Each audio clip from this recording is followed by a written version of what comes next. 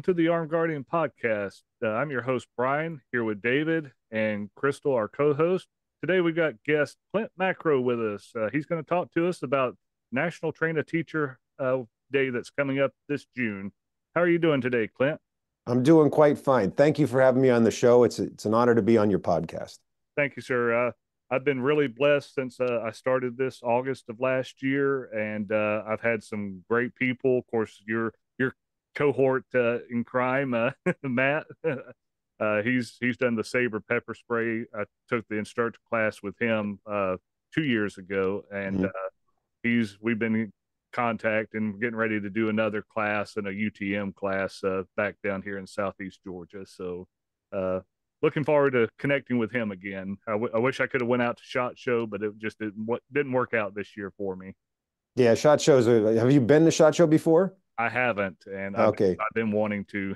Well, here's here's the best advice I can give on Shot Show. Just okay. go into it knowing there's no possible way to see everything, and then you just kind of pick pick your battles, so to speak, and then just focus on that. And try not to be drawn by all the lights and flashy things, because if you do, you'll get distracted, and time will kill you. Okay, sounds good.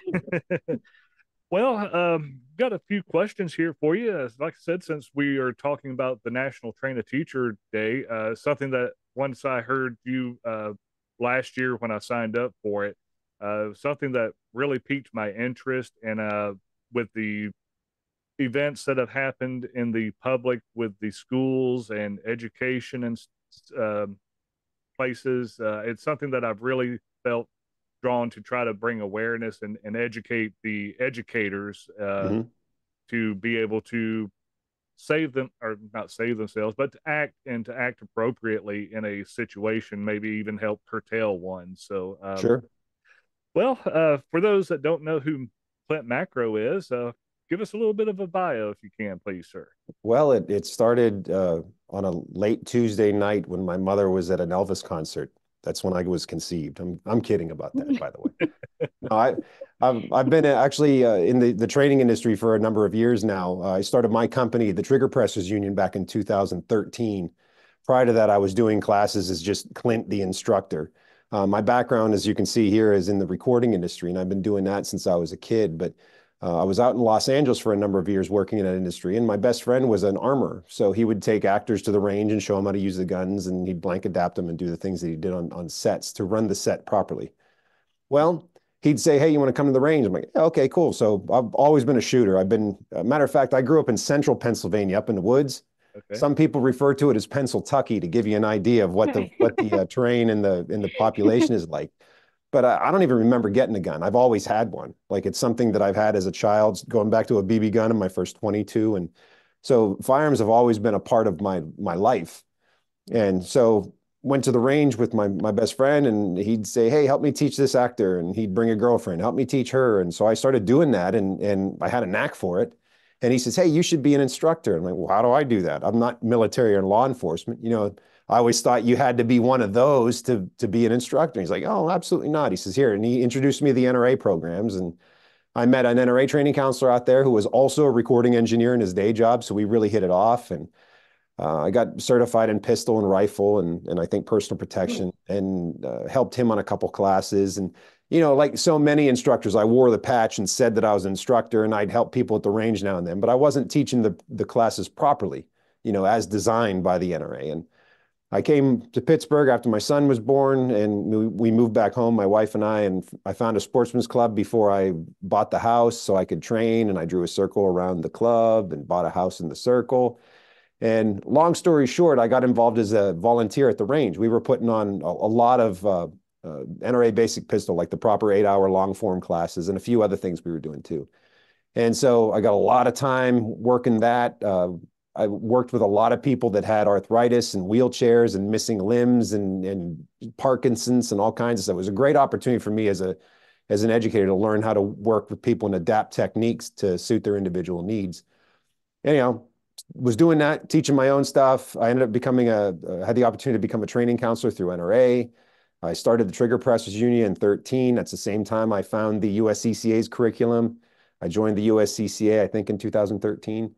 Uh, it's the same year I found Rob Pincus and I said, Hey, this stuff makes a lot of sense to me. And I contacted him and said, Hey, I'll host you and bring you out and fill your classes up for you. And so that 13 was really when things took off big. And I kind of I always say this when I talk to folks, like I, I believe uh, I don't know your your religious proclivities or whatever, but I believe that God puts doors in front of you, and sometimes we just walk right past them. Sometimes we kind of poke our nose and look and go go past them. Sometimes we cautiously stick our toe in, and other times He goes boom and He pushes you right through the door. And I think this was a situation that pushed me through the door because my my professional life was always in the audio industry, and now here I am where my audio business, you know, makes me cigarette money, so to speak. I don't smoke, but you know, a little extra money here and there. And I've dedicated my whole entire life to uh, training my fellow Americans and, and, helping empower them to be their own family first responders. And um, I, you know, I'm not going to say it's like George W. Bush saying God told me to do it, but I think there's a, a righteous calling there.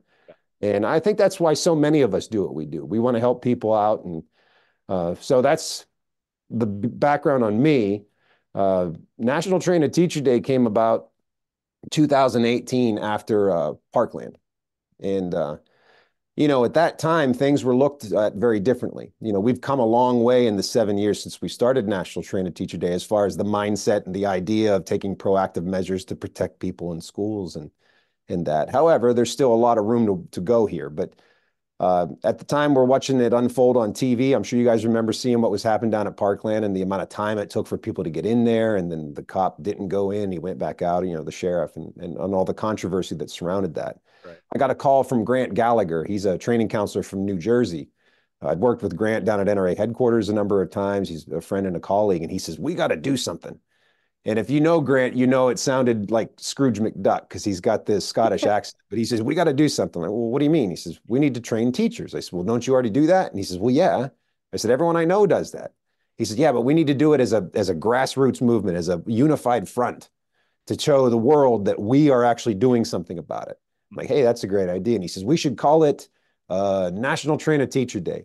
And I said, I'm on it. And by the end of the weekend, I had the website up. Uh, the first year we had about a two month lead time, so there wasn't a ton of time to get people involved. But we got a couple hundred instructors in most of the states. We were in over half the states that first year, mm-hmm. and we offered training. And then, of course, each year it's grown and built. And here we are at the seventh year, and we're going to observe the seventh uh, National Train a Teacher Day on June 22nd of this year. That'll be the the fourth Saturday of the month, June 22nd. Okay. All right. Sounds great. I'm looking forward to being involved in that this year. So you, you kind of already uh, touched on our the first question, which was uh, what is National Train a Teacher Day and how did it get started? So anything anything else you wanted to add on that? Uh, yeah. Are, are you guys? Yeah. Are you I want to all 50 states uh, this this year? No, I'm not in all 50. I got to double check. I think Vermont.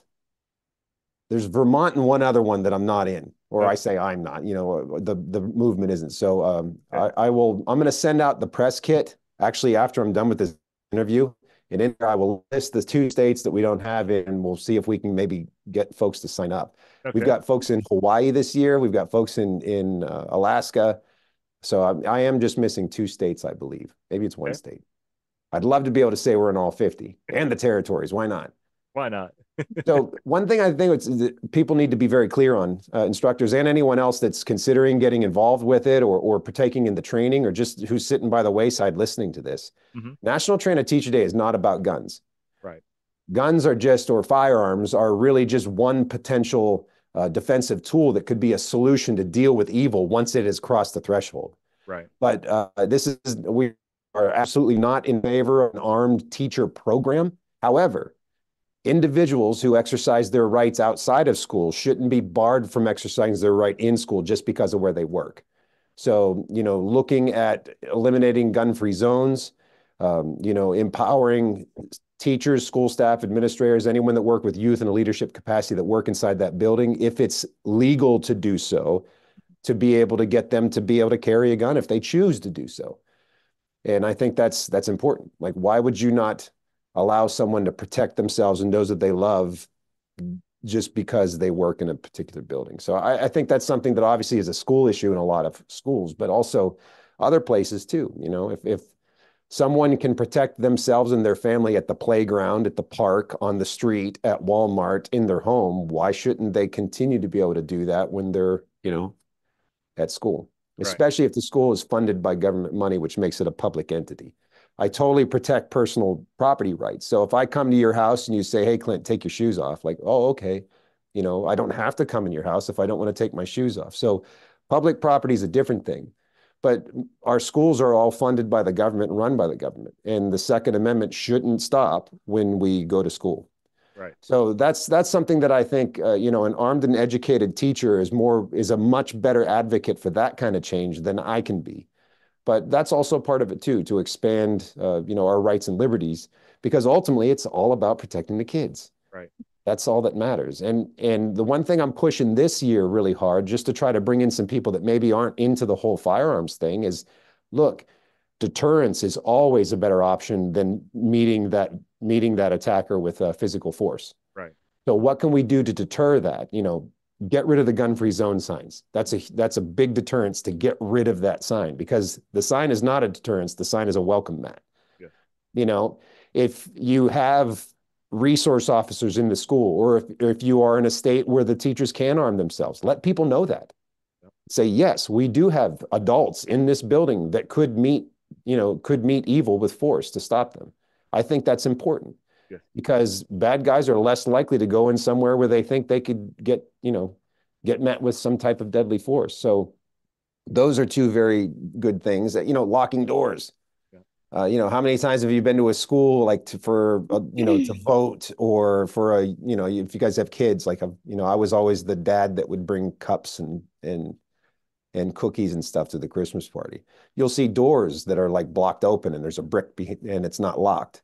Yeah. It's like guys, lock the doors. Like there's so many things that can be done just from a mindset stand standpoint that could protect our our mm-hmm. children. Can I just ask something to what you just said about the doors locking? Yeah. So I used to live five minutes from Parkland, the uh, Marjory Stoneman Douglas. My house was right there. That was the school my son was going to go to. So I was heavily involved in all this when this was going on. Prior to this, I had told many of the people that I would teach their children free active shooter prevention and preparedness, and I was just shunt. They said, well, it's never going to happen here. We're a fluent area. Don't worry about it. So that went that way. Well, the day of the shooting, I was getting so many calls. It's mm -hmm. too late to plan now, right? So we were doing a suicide awareness class, mm-hmm. a training, and Marjory Stoneman Douglas was going to allow us to do it there, but then they changed their mind. So we did it at the uh, middle school next door. Do you know when I went in there, those doors didn't lock either? And I asked, how come they have not done anything to secure these doors? And they said it was too expensive. And like yeah. after their neighbor just had that incident, and I'm like, really? I was really shocked that that was the answer. It was just well, too much that's the financial aspect is all is is often an answer and it's it's even our individual students that we train as as uh, you know defensive instructors people misallocate their defensive financial resources like all the time so you know you'll have a school that will spend a million dollars or more on putting fake astroturf on the football field oh yeah but they won't throw down a couple a couple 10 20 grand on just putting deadbolts in all the doors like that's mm-hmm. that's a very misguided way to look at things and they know, do fundraisers for sports all the time, right? They yeah. do all kinds of fundraisers. Like, why can't you fundraise for something that's really important? Yeah, absolutely. And you know, uh, the the one thing I will say, I I do know that the you know the government. Not that I ever look to the government for a solution, the government has freed up money and things to mm-hmm. help with schools, you know, whether that be at the state or federal level. So there is assistance out there for people that are looking for it. But I can say our school district here where I live, uh, they've they've really taken great leaps and bounds at protecting the children and, and hardening the school and and having resource officers in in the building and you know putting bulletproof glass at the entryway and there, there was a lot of things that they did and even even incorporated training to where they were you know, teaching the kids on what to do if something like that were to occur so that folks had at least a plan in mind. You know, it's it's like even a, a I'll use the term even a half-ass plan is better than no plan whatsoever, yeah. right? And when we say, "Oh, it's not going to happen here. Oh, we're too affluent. Oh, never mind. It's too unpleasant to talk about." That's where people really really get get surprised. So I, I, think it's important and prudent to think about the worst case scenario. What is the worst thing that could happen here? And let's come up with an idea to deal with it. And I, I think we should approach all of our defensive training that way. let's train and let's plan for the worst case scenario for where everything goes sideways. And if we can have a plan that works, or if we can start to develop skills and infrastructure that works in that context, then I think it's prudent to assume that you're going to be a little bit better off if you have a heads up, or you'll be maybe a little better prepared if you see it coming.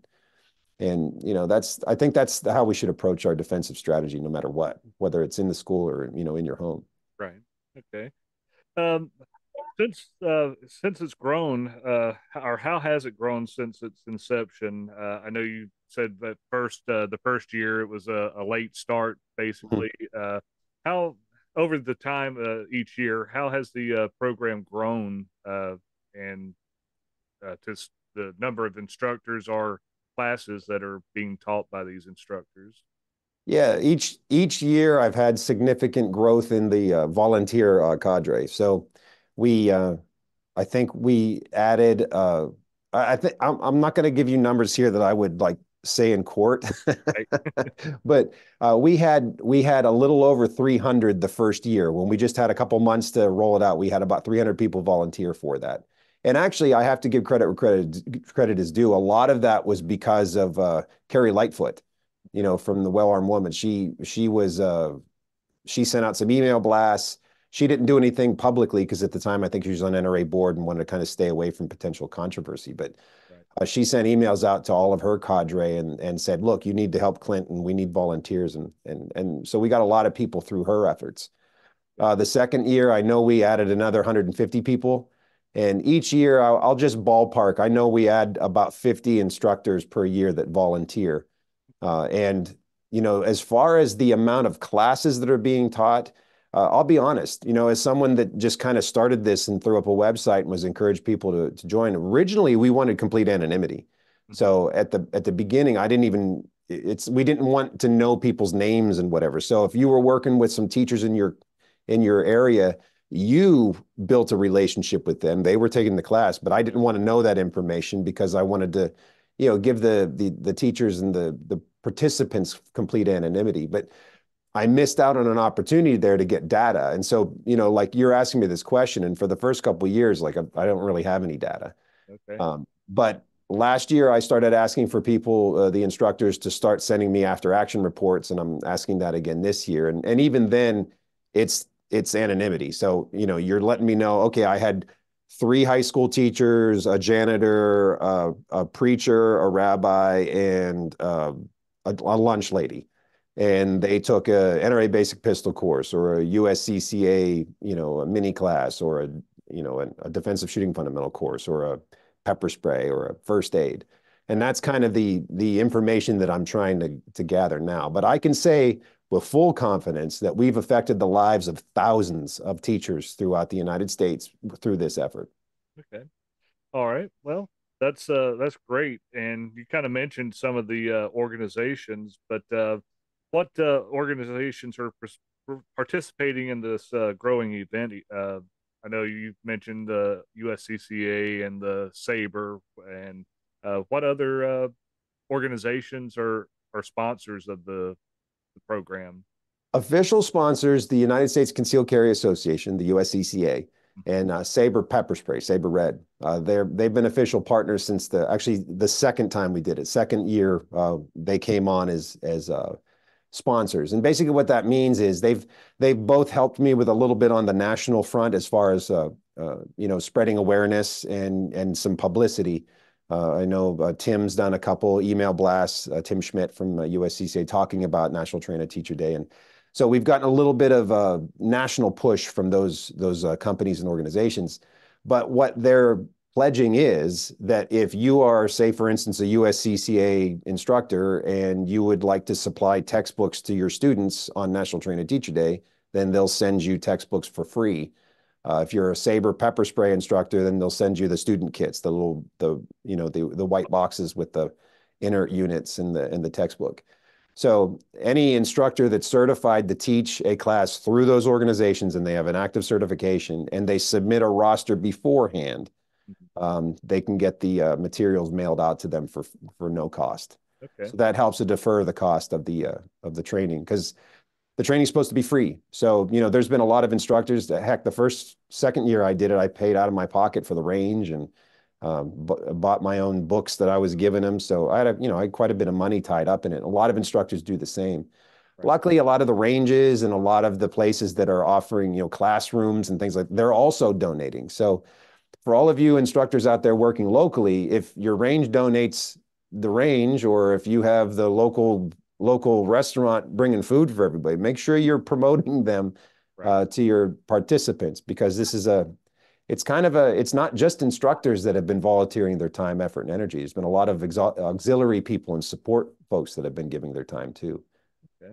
when do you usually start advertising for this well that's been kind of sporadic honestly because it's just me running it uh, okay. when the first couple years grant gallagher and i both ran it together uh, grant was uh, the co-founder uh, but because of some various uh, things going on personally, he was he had to step back from from the uh, the duty of doing that. So I've been running it myself. I think now for three years, maybe four years, three years. Mm-hmm. Uh, so I'll be honest, it's been a little sporadic.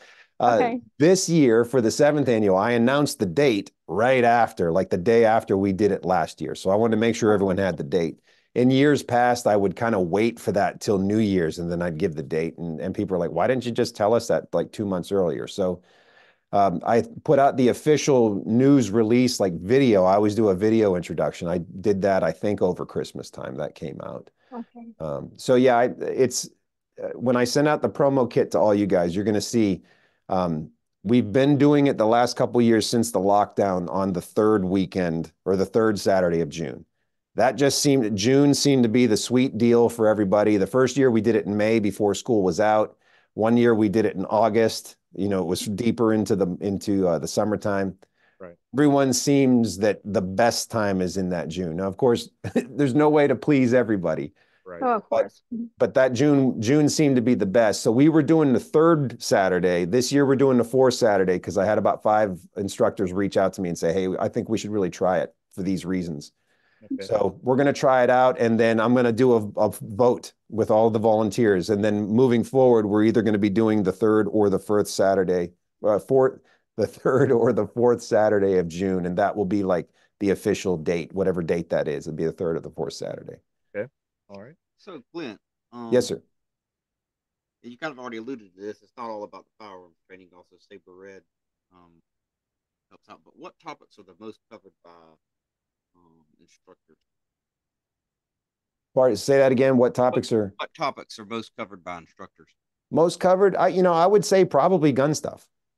Uh, you know, a lot of the instructors that volunteer are NRA basic pistol instructors. They're USCC instructors that teach concealed carry and things like that. So I would say probably gun related stuff is what you see most offered.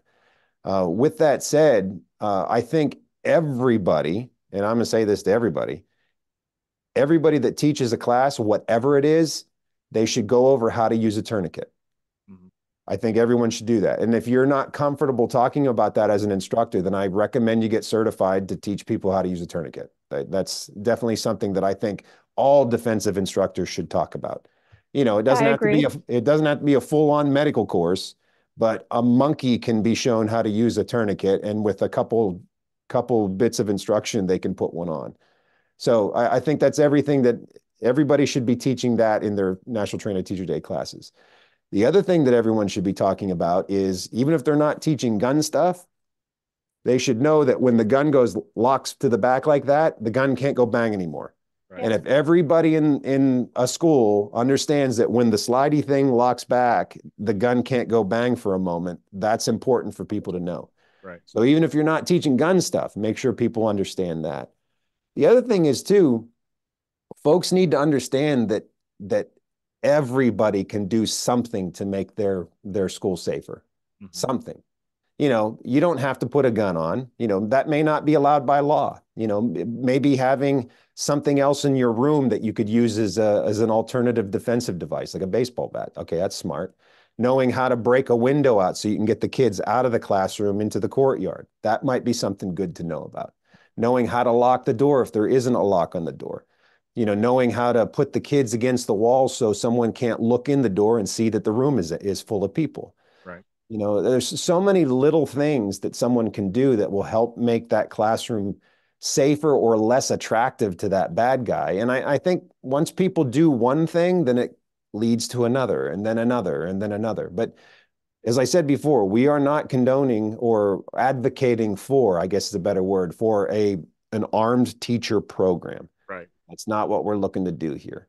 Uh, and you know, if if that were the case, then the government would get involved. And quite frankly, when the government gets involved, that's when things, frankly, don't work nearly as well, in my opinion. So we want to empower the individual to be able to exercise their rights and protect themselves and those that they love. Yeah, I know. Yeah, it's all about prevention. Yeah. yeah. I know one of the big pushes I do is uh to me it seems like first aid is the the forgotten art uh, when it comes to firearms and it's something that I'm really been advocating for here lately and uh, something that uh, I'm looking to try to do probably not this year uh, with National Trainers Teacher Day but probably next year.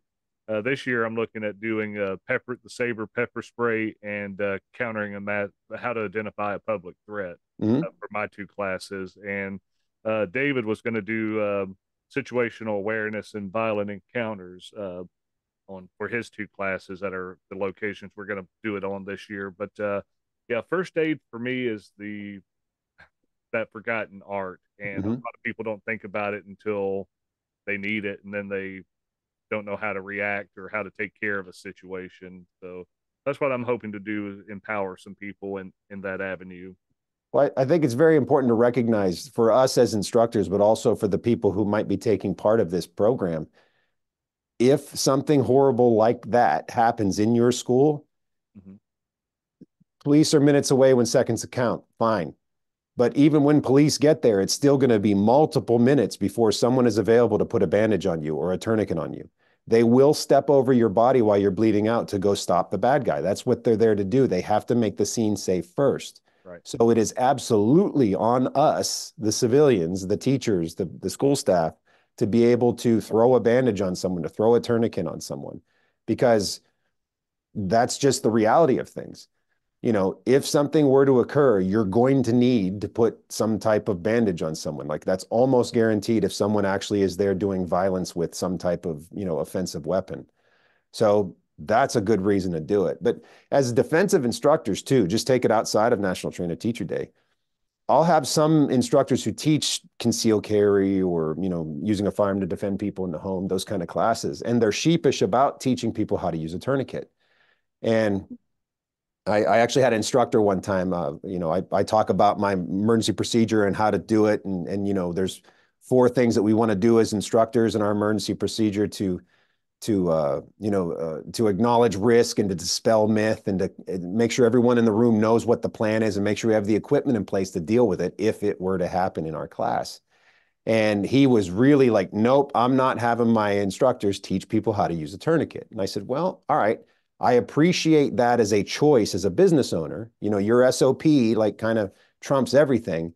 But I said, let me throw this piece of meat into the pit. And he kind of looked at me like this.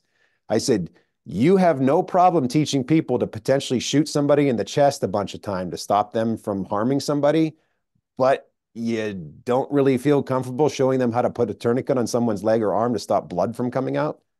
I said, I don't know, like maybe think about that.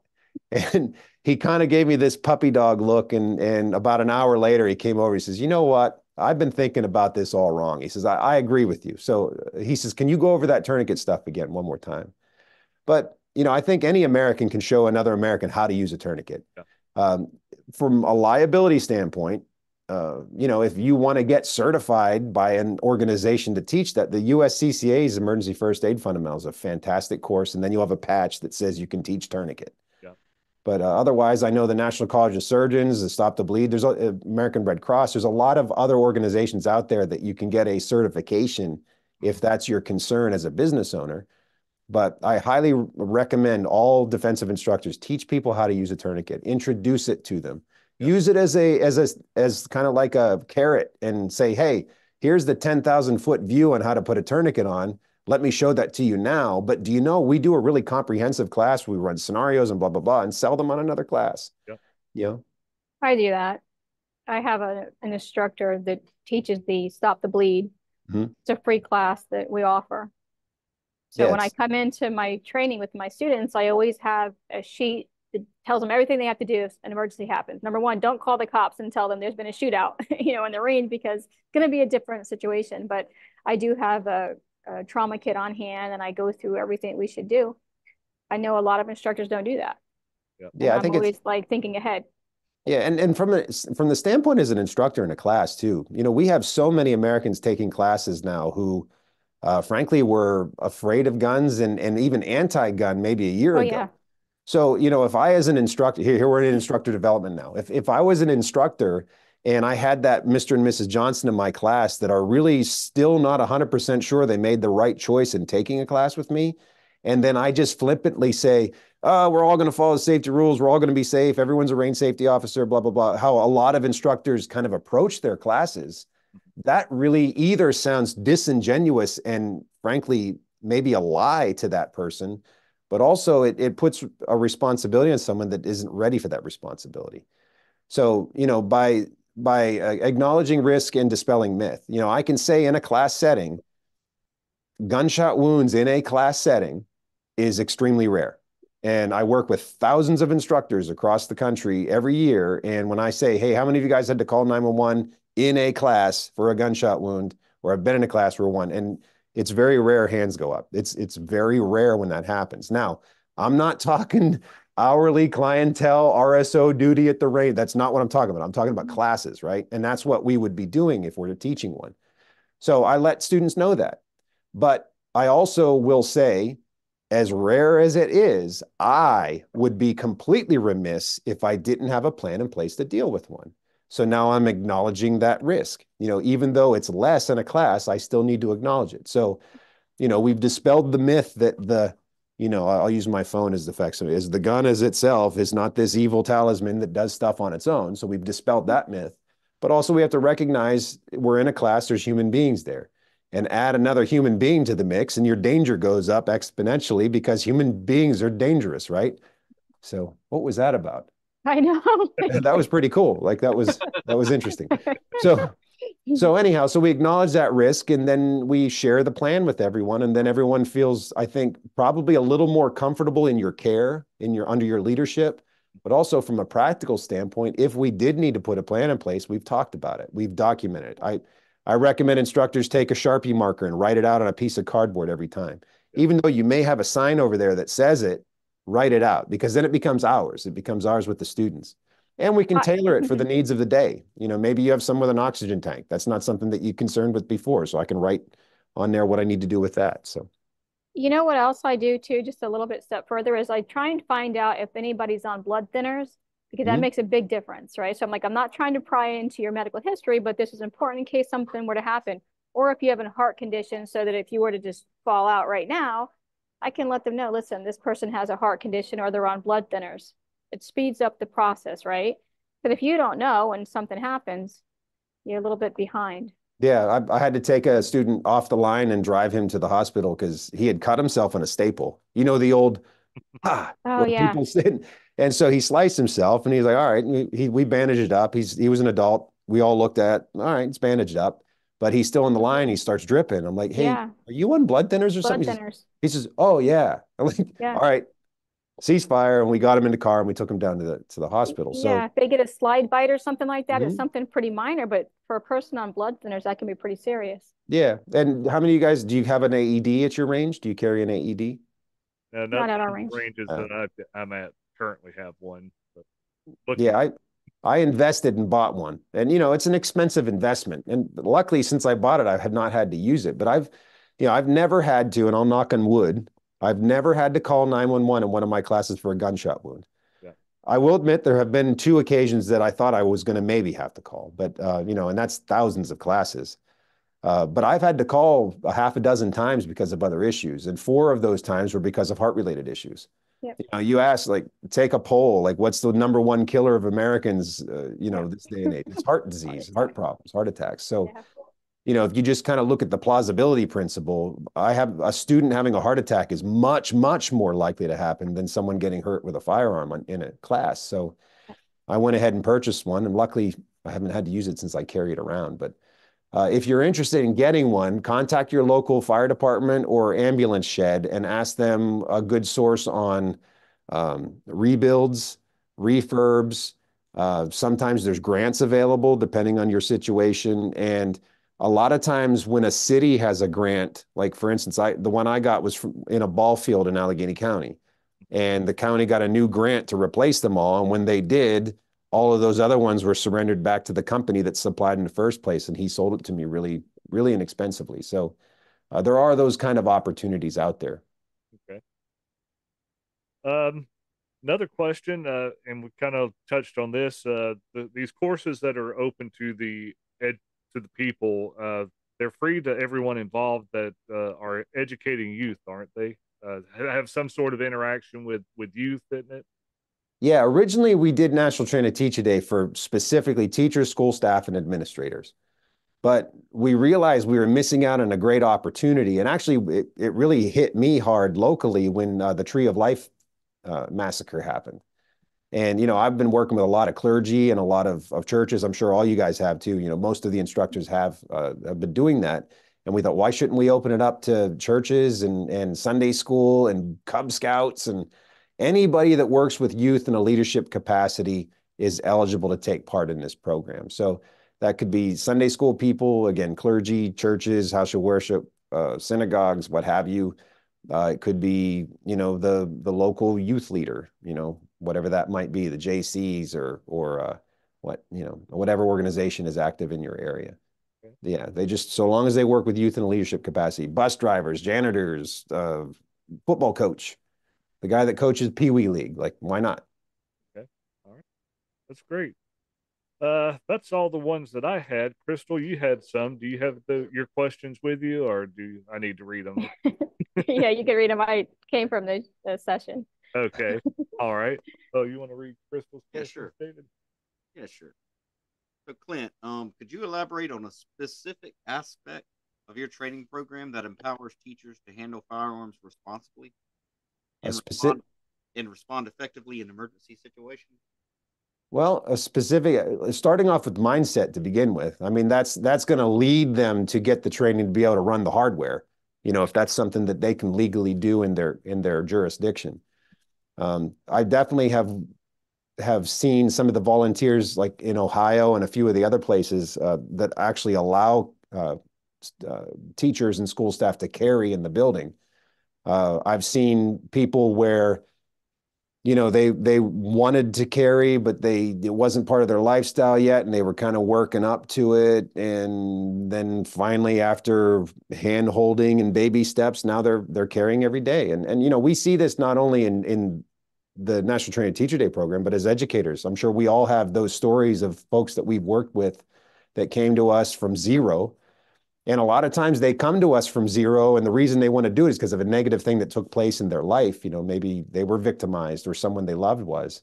And so they they took on that responsibility. So I think as instructors, it's very important that we help to empower our students by helping them realize that they have it within them to do this and they are worth protecting. And you know, it's not just you know, their students are absolutely worth protecting, but they themselves are also worth protecting as well and that's something that's it's going to be a little bit of a different conversation to have with the you know different individuals. Uh, one of the reasons i like teaching a, a, counter ambush kind of training when it comes to firearms specifically is because it takes advantage of what the body's natural reactions are likely to be based upon the limited data we have. And when you kind of explain how those work how the fight or flight actually works and how some of those interior and exterior uh, defensive positives that show up that we have documentation on, how they're designed to help people to survive. And it's instinctive, meaning that, you know, lowering center of gravity, squaring off to the direction of the stimulus, you know, the hands moving protectively, like all that stuff that we see, nobody's trained to do that. It just happens because it's in our DNA. And when you explain that to folks and then they start to look in their own lives of where that actually helped them for whatever reason it may be, then they're like, oh yeah, I can do this. I don't have to be like a force recon Cav Scout Navy SEAL to be able to defend myself and my loved ones, or take on this responsibility to, you know, use any tool, whatever it is, to to protect myself and others. So, I think approaching people from get-go with like objective standards and saying, well, this is a level three kind of thing. I think that's dismissive and, and not really that terribly accurate. You know, everyone has it within them to defend themselves. And and being able to spark that fire within them, I think, is the key thing. And then from there, sky's the limit. It's just as a matter of, you know, how much someone is willing to make it part of their lifestyle choice. Did that answer the question? I think it did. Okay, good, good. I, I tend to talk circularly, so.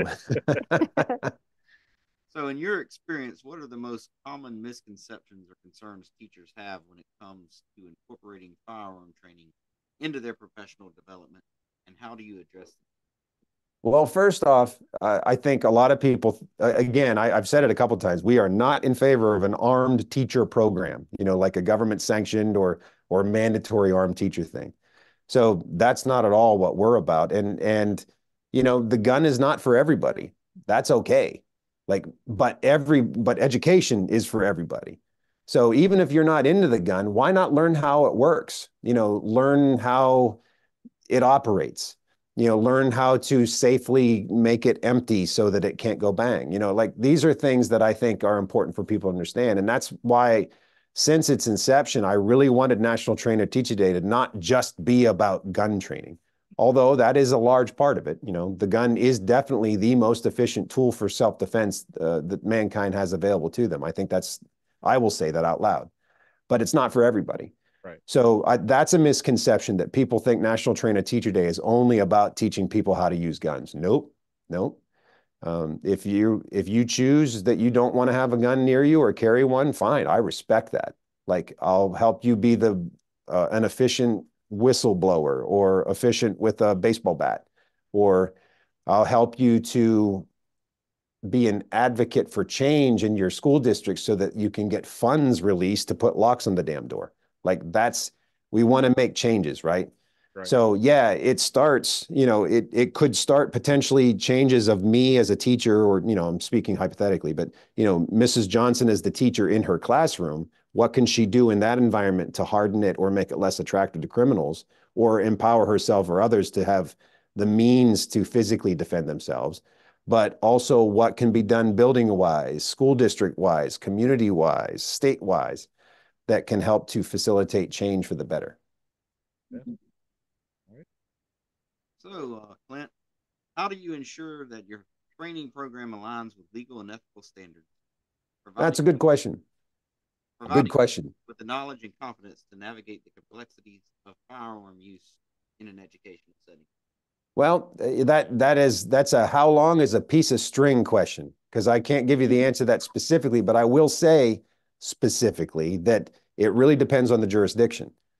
You know and and because our training is not just about firearms it's about so many other things including mindset and and you know making those changes to allocate resources even um, we can navigate those waters. So uh, back in 2018 um, actually right before right before we we did national train a teacher day I, in response to what happened at parkland there was a superintendent at a pennsylvania school district now Pennsylvania, you can legally have firearms in schools. Now that's a whole other conversation, and and I I will say if you walk into a school with a firearm, you're likely to get arrested. But there is court there's court precedent in place to where it's legal for you to have it for legal purpose. That's not what this conversation's about. But most school districts don't allow teachers in Pennsylvania to carry guns but it would be up to the school district specifically to make that decision because we still have rifle teams and things like that in a lot of schools in Pennsylvania. So you can have guns in schools in Pennsylvania. So it might be a policy issue that that pro prohibits that, but legally it it still might be a thing. Now that may not be the case in every state. Obviously, every jurisdiction is different. But in Pennsylvania at that time, that superintendent put buckets of rocks in every single class. He went out to the creek got big rocks and filled up five gallon buckets of rocks and put one in every single room in that school. And he was ridiculed by a lot of gun people saying, Oh, you're put rocks in there, you know, but he, because of the politics of where he was and the policies of the school he was at, he was not able to arm everyone in that in that school, which not everyone should be armed in the school. Right. You know, it's again, it's not for everybody, but everybody could pick up a rock and throw it at somebody. And I thought that that was a fantastic solution uh, that that empowered people, gave them a means to defend themselves physically. You know, I think we all agree not the best means, but I tell you what, you stand there and have someone throw rocks at you and tell me what's going to happen when with you. You know, it, it's going to disrupt what you're doing, even for an instance. Maybe it knocks the guy out, maybe not, but it now opens up other opportunities. So I, I applauded that guy. I thought that was a fantastic idea. And working within the realms of what he had to deal with politically, legally, and policy wise, that was a fantastic proactive step. And if more people did that, I think we'd be looking at different uh, a different situation in our country here. Yeah, I can so, see. I can see yeah. where you know somebody said, you know, look, that little kid have looked at that principal or that administrator saying, "Rocks? No, what are you talking about?" And you know, just look what uh, David used against Goliath. It only took one stone. Yeah, yeah. You know, a well placed shot with a hard thing, whatever that hard thing is. Yeah, absolutely. you were going to say something else there, Klint, before I jumped in. Oh, uh, no, I think I was done with that story. the, the, the whole point was, you know, yeah, some states you can't carry guns in school. So what I would like for people to see if they're in a state where you're not allowed to have a gun in the school whatsoever, but then they learn about firearms and then they learn about how they work and they dispel some of those myths and those, you know, those those falsehoods that surround what the media teaches about that, then those folks are going to be much better advocates for change when they talk to their local legislators and when they talk to the school board. So, uh, yeah, the misconception is that a National Train a Teacher Day is only about training teachers to use guns, and that's that's not true. Um, it's it's about much more than that. Okay. All right. Well, that's all the questions, pre-written questions we had. Crystal, did you have anything else you wanted to ask or want some information on? I don't think so. Not right now. Okay. What about you, David? I think I'm good. All right. Uh, one of final question that I have uh, that we're asking everybody uh, after each episode is, what do you do for relaxation or to de-stress from your daily activities? What do you use to to unwind, whether it's read a book, go listen to music or whatever? what's your your de-stressor? That's a good question. And you know, I I don't really have a great answer for that. Uh, you know, I've I will say that I can't function without music. Mm-hmm. So I wouldn't say it's always a de-stressor come down kind of thing, although I certainly will do that. I'll I'll sit down and put on a you know a concert or something, or just put put in my buds and listen now and then, or I'll sit in front of these near fields and just listen to music. Mm. But it's something that I have to have going on, or my stress goes way out the roof when I'm doing my normal stuff. So music is definitely yeah, music is a de-stressor. I think that's a thing.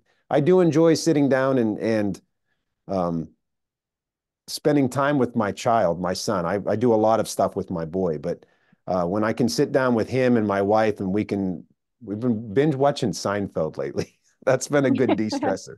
He's old enough now to where it's appropriate, and okay. just to sit there and and and know what's coming up because I've seen that ep- those episodes so many times, and to watch the reactions on his face, and and watch him laugh. That that's a that's a pretty big distressor. Yeah. yeah. Okay. All right. Well, if somebody wanted to get in contact with you or find out some more information on nat- uh, National Train a Teacher Day, where would they go, Klint? All right, well, that's an easy one. So if you want to learn more about National Train a Teacher Day, the website is nationaltrainateacherday.com. It's a lot of typing, but it's pretty easy to remember. Nationaltrainateacherday.com. On there, you can connect with volunteer instructors who are offering to give away free training on June 22nd. You can contact me through the website. So if you can't find an instructor in your area, contact me and I'll do my level best to connect you with somebody. Um, also on there, there's more information. Uh, there's uh, a contact form. If there's any instructors on here that want to volunteer, they can do that too. They can uh, they can reach me through the website. Uh, my company is Trigger Pressers Union. So triggerpressersunion.com is my website there. And uh, you can see all of my classes I've coming, coming up. I got a library page that links to all the different content that I put out throughout the years and through different uh, different organizations and different companies. Uh, so that's where you can see my training schedule. I, will give you some dates here real quick. Uh, I'm going to be doing seminars at the Great American Outdoor Show in Harrisburg on February 9th, 10th, and 11th. Uh, I've got lots of dates on the Personal Defense Network training tour uh, the coming up this year. Uh, so you can find those dates on my website. I'm also hosting the, uh, well, I'm not solely hosting it, but I'm helping to host the the gunmakers match in Pittsburgh this year again. So anyone that's interested in building a firearm out of a you know three dimension or a 3D printer or, or something like, they bring the guns there and they have a competition, which is, man, talk about innovation. Uh, I saw people make guns out of amazing things. And uh, actually, one in particular, while I'll, I'll, take a moment if I can, he yeah. built a recoil system using a 1022 bolt, uh-huh. but he made the recoil system out of magnets. And it was all 3D printed, these tubes, but the magnets actually, you know, the positive and negative, you know how they push apart? And that was his recoil yeah. system. I, it, it was uh, pretty amazing. So uh, the Gunmakers match is coming up in April. I'll be hosting Rob Pincus for his dates on the PDN training tour. He'll be here in Pittsburgh. Uh, he's got classes all over the country as well. I'm doing a Project Appleseed on April 13th and 14th. Uh, I'll be at the NRA annual meeting doing seminars all three days. So you can find me there at the NRA annual meeting if you guys are coming out. Uh, so lots of stuff coming up. PDNtrainingtour.com. You can find my dates on there. I believe the website, uh, Rob announced the training tour at SHOT Show. So I think the website's being updated as we speak. Okay. Um, lastly, I would be remiss if I didn't talk about Meet the Pressers though. So if you guys want to find out about Meet the Pressers, uh, myself and Matt Mallory, uh, that's uh, we both uh, host that show. Uh, meetthepressers.com or find us on YouTube or all the other uh, streaming and and podcast venues. Meet the Pressers. All right. I'll. Uh, I know you sent me a picture with your schedule and everything for the year, and mm-hmm. I will put that on our website. And then whenever I do the video editing, I'll put it on the end of the the video uh, for for everybody to to have access to. So. Well, I appreciate that. Thank you. Thank you for that. So, all right. Well, Klint, appreciate your time today. Uh, enjoyed the topic, and maybe we can come back and have you on next year, or even for another topic down the road. Oh, absolutely, man. I, I I'm honored to be here. Thank you, and and anything you need from me, let me know. One last thing before you sign off: make sure everybody supports their local state level 2A organizations. Uh, here in Pennsylvania, it's Firearms Owners Against Crime, uh, our Institute for Legal, Legislative, and Educational Action. Uh, you know, Ohio Buckeye Firearms, up in Massachusetts, Gun uh, Gun Owners Action League. So make sure you get involved with your state level 2A orgs, donate to them, and volunteer and help them because they're the actual boots on the ground that are making a huge difference locally. All right. And one other thing I just remembered uh, if, if there's instructors that have done the National Train a Teacher Day in the past, and they change their curriculum or something, they just need to email you, correct? Yeah, just send me an email that like, hey, I'm teaching a different class. Can you update the website? That's that's all you need to do, and then I'll get on there and update it. Okay. All right. Sounds great. Thank you again, Klint, and uh, hope everybody has a safe day and uh, enjoy your time. Thank you. All right. Thank you.